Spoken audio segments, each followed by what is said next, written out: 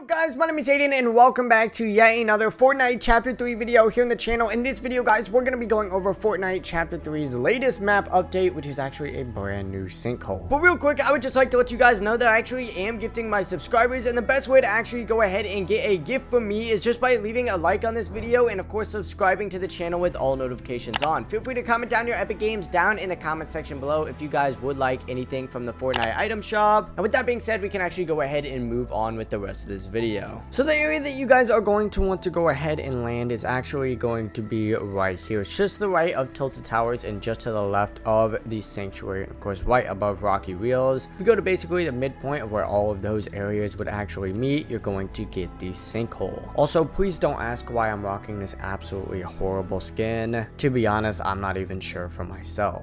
But yeah, this sinkhole is basically like all the other sinkholes that we've gotten so far within this chapter. And obviously, this is all leading up to the Fortnite Chapter 3 Season 1 live event, or I guess the ending event that will be wrapping up this chapter before we move on to Chapter 1 Season 2, so that's always good to know. But yeah, this is pretty cool. It's nothing too, too special, but it's obviously nice to know that we are getting even minor map changes, because honestly, the updates have been kind of lacking recently, but that's obviously just my opinion. That being said, one more time, the location is actually just going to be just to the right of Tilted Towers, just to the left of of the sanctuary and right above Rocky Reels. But yeah, I'm gonna wrap this video up here. I know it's extremely short, but I was just trying to bring you guys a map update and basically go over everything that is coming and I guess happening here within the Fortnite Chapter 3 season so far. We're very, very close to Fortnite Chapter 3 Season 2, so that's very awesome. Before you leave this video, make sure you leave a like and sharing with some friends, and of course subscribing if you guys are brand new for even more Fortnite content just like this, and I hope to see you guys in the next one.